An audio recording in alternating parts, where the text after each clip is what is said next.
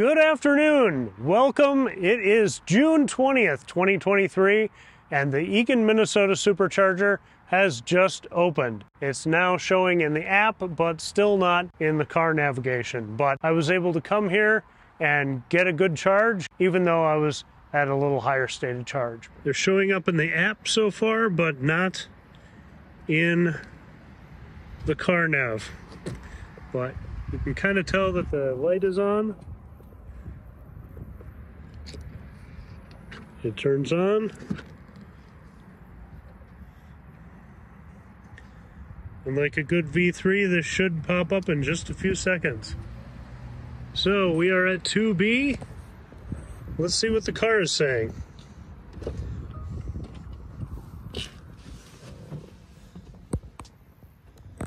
All right, we're at 57%, so not going to be blazing fast today, but it is charging. At 90 kilowatts, I think we saw 91 there, which is just fine. I didn't precondition because this isn't in the navigation yet. So we'll let this go for a few minutes while we talk about the new place. This charger is pretty near my home, and so it's great, it's exciting, but I'm really not going to be the one to use it. But the upside of that is I've been able to drive by here pretty frequently and take pictures of the progress. And so I wanted to show you from April 10th when the first equipment was dropped off, as far as I could tell, all the way through it opening today.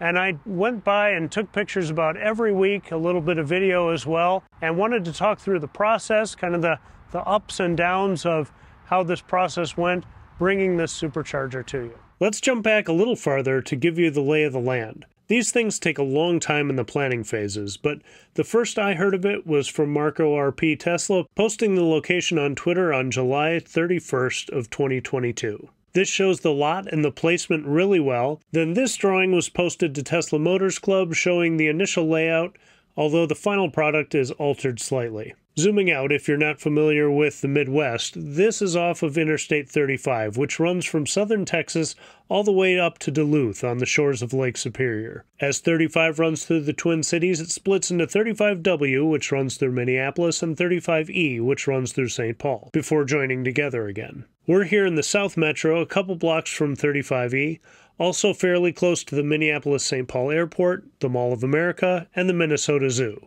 Okay. Enough of that. Let's fast forward to April when I first saw the equipment dropped off. This panorama shows that same parking lot corner fenced off and the two tractors dropped off. Notice the white pallets and tent structure on the right side. These are part of the Cub Garden Center, not Tesla equipment. This corner is where the pull-in spot will be, as well as the charging cabinets and new transformer. As we look down the line, you can see an older red fence that will be replaced, and it's more obvious here that no Tesla-specific hardware is on site. These first couple weeks were crazy with lots of rain and at least one heavy snowstorm. So when I came back the next week, I was surprised to see that they'd been digging and framing, but not too surprised that the hole was filled with water. I'm sure that was super annoying for the crew. By now, Tesla's equipment had shown up. Unlike some of the prefab station that we've seen installed elsewhere, these pedestals would be placed individually, probably due to the curve in the parking lot. Here are those individual bases. The pedestals, cabinets, and some landscaping materials had also arrived. The next Sunday, April 23rd, showed the water drained away, large conduit placed and buried, and pedestal bases trenched out and placed. Going around the corner here into the shrubs gives a little different vantage point, and the reverse angle from near the garden center shows the 11 back install bases along that curve. The cabinets and pedestals had been unboxed, so I got a close look at those while being careful to stay outside the fenced area. Odd that a cabinet had been left open over the weekend, but maybe the wind caught it. The concrete pads had been poured by the following week, and more ground filled in around what would be the new curb line. They'd tidied up some of the supplies along the fence and in the process of running conduit down the line of bases. On May 7th, the next Sunday, forms were in place for the new curb section, the new transformer and Tesla's cabinets were all in place on their new pads, most of the pedestals installed, and even some landscaping done. This week really surprised me with how fast things came together. But what's with that missing pull-in spot pedestal? I'd find out in a couple weeks, but my next check-in was the following Saturday.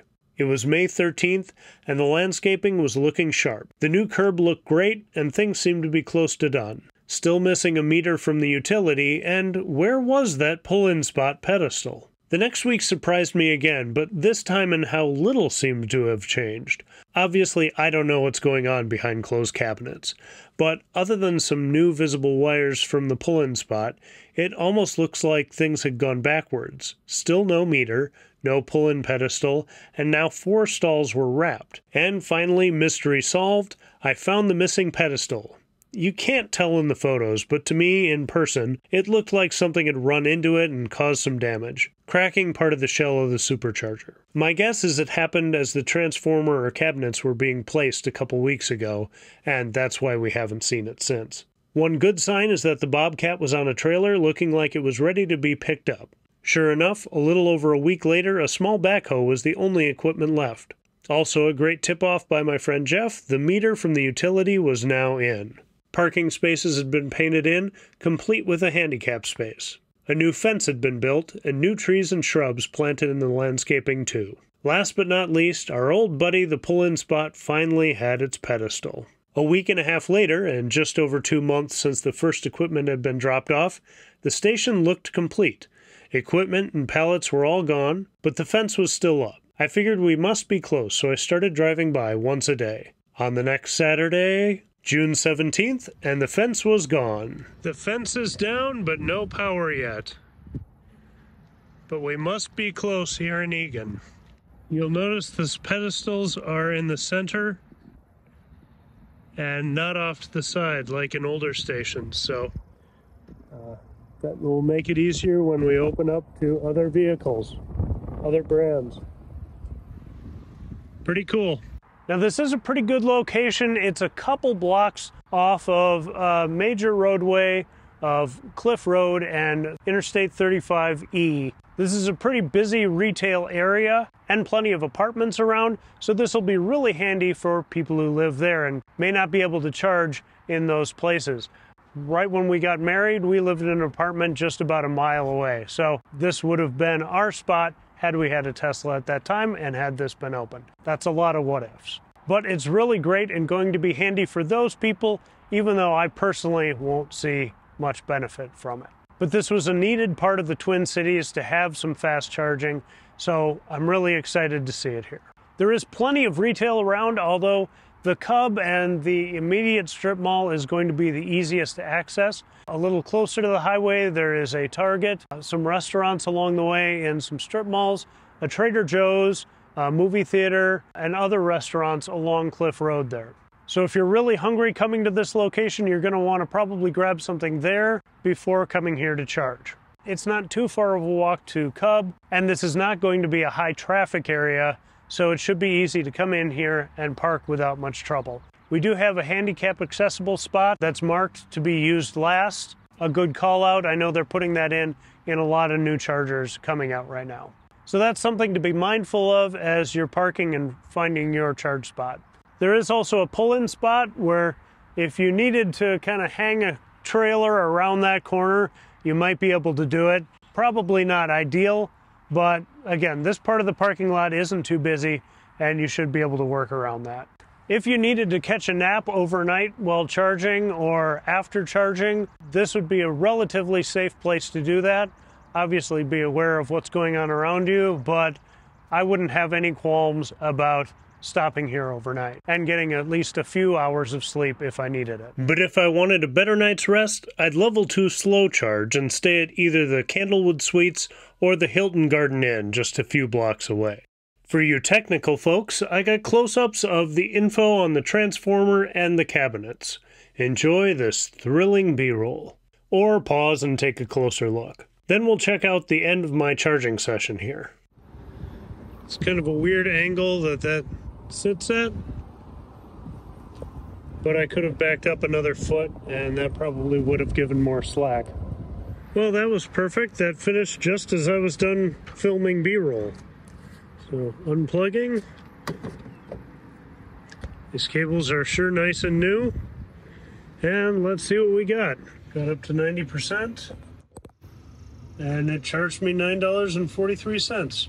And it's uh, it stopped at 716. Plenty of charge. Not that we really needed it, but fun to be one of the first here. Saturday morning, and we had coffee and donuts with the Minnesota Tesla Owners Group members who wanted to wake up early, and a few folks who just stopped by to charge.